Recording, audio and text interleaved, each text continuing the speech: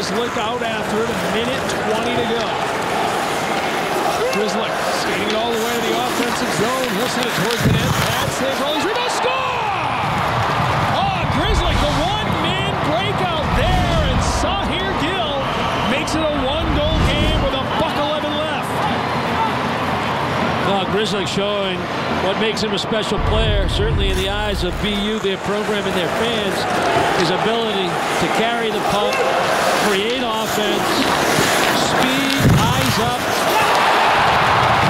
that vision. This is a heads-up play. Chase down your own rebound, short-sided, throw it right back out front. Get bodies to the front of the net. They don't have to be pretty. It's pretty right now.